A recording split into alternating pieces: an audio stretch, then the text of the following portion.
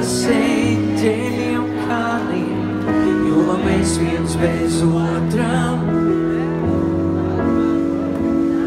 Tā kā putni bez spārniem. Un tad saules zied, hei!